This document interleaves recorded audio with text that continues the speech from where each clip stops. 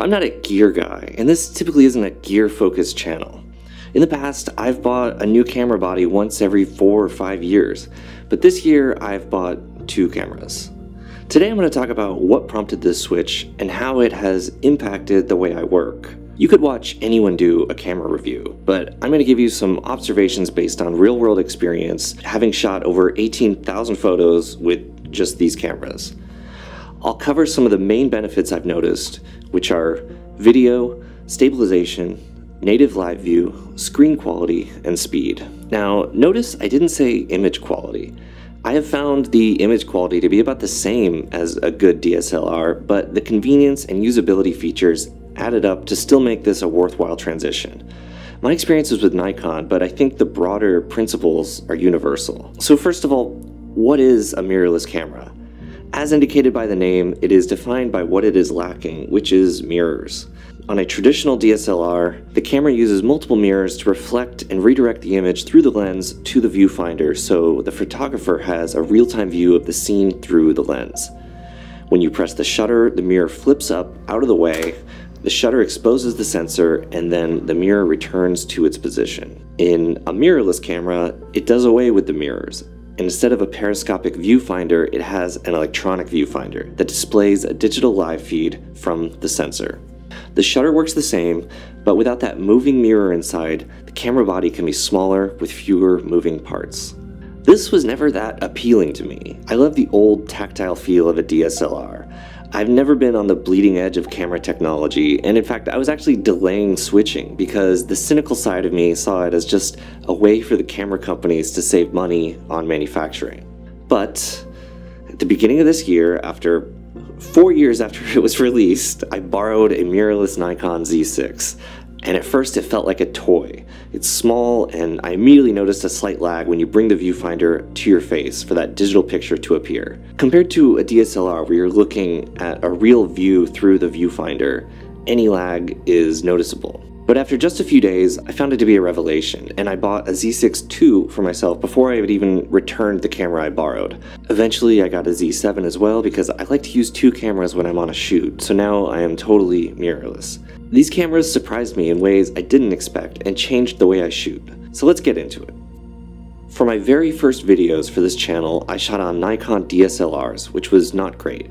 These lenses were never designed to shoot video, so the motors are loud and they don't focus smoothly. So I got a Lumix GH5, which I used for a year and a half.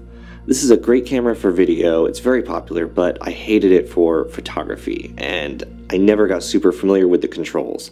Since I like having two cameras for a photo shoot, I was bringing three cameras if I was planning to do photo and video. Three cameras! That's not only a pain to travel with, but it means more batteries, more memory cards, and more stuff to keep track of. Not to mention, there's only one of me running around. With the Nikon Z6, I was amazed how fluidly I could switch between shooting photo and videos. And for me, the controls were so much more natural than the GH5 because it's stuff I already know. I first borrowed the Z6 before I went on a road trip with Daniel Sloan in the M3 Baru, and I noticed at every photo stop on the trip I was using the Z6 for everything and leaving my beloved old D850 in the camera bag. So over just a few days, I came to rely on this camera for so much, and it immediately became an indispensable part of my camera kit. A mirrorless Nikon was able to replace the Lumix GH5 and the old D800 I was using as my second camera body. Now, whether or not you shoot video, having the capability to get quality video is really helpful, and you never know when that might prove useful. A lot of mirrorless cameras have in-body image stabilization, which is where the camera sensor itself moves slightly to counter any camera shake. This means you can shoot at a slightly lower shutter speed and you're less likely to get blurry images. This is helpful in low light or if you're just moving quickly and maybe not standing totally still when you're shooting.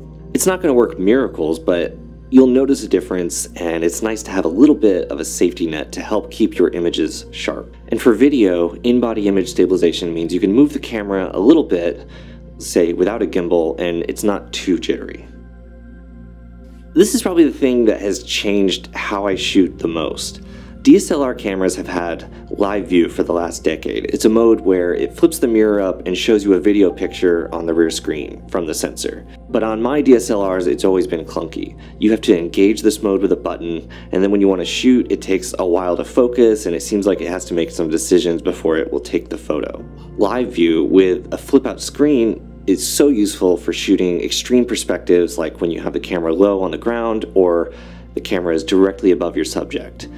I just accepted that it was a little clunky with the D850 because I never knew anything better. On the Z6, the image on the rear screen is instant, fluid, and it captures images without hesitation. I find myself using the rear screen as the main viewfinder in a lot of cases because it feels so natural. Whether you're looking through the screen in the electronic viewfinder or at the screen on the back of the camera, the camera behaves exactly the same. So it feels like I've gained some new functionality and flexibility there, which I didn't even know I wanted.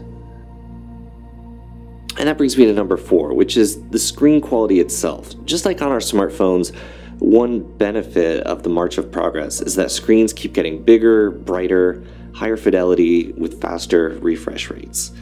And when you're using that screen every day in different lighting conditions, you really notice the improvement. The Z cameras are smaller than the old DSLRs, but the screen is bigger and sharper. It's more pleasing to use and gives you a more accurate representation of what your photo is going to look like. And just as our screens get bigger, the newer cameras seem to just function a little faster as devices, and it allows me to work a little more seamlessly. When I first picked up the Z6, I was worried that the perceived lag when I put the viewfinder to my face would slow me down. But in practice, and for a period I was using the Z6 for wide shots and the D850 for telephoto, the DSLR was slowing me down. It seemed to focus a little slower or make more adjustments before it locked on it was more likely to focus on the wrong thing, and the live view lag was killing me. The specifics of phase detection versus contrast based autofocus are too nuanced and complicated for the scope of this video, but in practice, the Z6 seemed always ready to take the shot, and this DSLR needed a little bit more time, and that time adds up on a long shoot. Uh, let's wrap this up. A mirrorless camera isn't going to make you a better photographer, and your pictures aren't going to be dramatically improved. But there are some convenience things that make it nicer, making your quality of life a little better, and you might gain a few capabilities such as better quality video or shooting from more extreme perspectives that will make you more marketable as a photographer. On this channel, I always try to tell you not to obsess over gear. You should obsess over your technique instead, but I should amend that slightly to say that I had to redo that one because I bumped the table again. Your gear is only good if you know how to use it. Not just how you use it as a photographer, but how well you know the menus, the dials, the buttons. If the settings and controls on your camera are second nature, you won't waste time fiddling with it when you're on a shoot. In order to make the camera do what you want, to create the picture in your head, you have to know it really well. So I guess one lesson is that you should obsess over your gear, or at least be familiar with the gear you have. Okay, don't obsess over buying new gear, even though this video is an implicit endorsement of that. Maybe I just made this whole video to validate my own consumerism. Anyway, please like and subscribe. Thank you for watching, etc.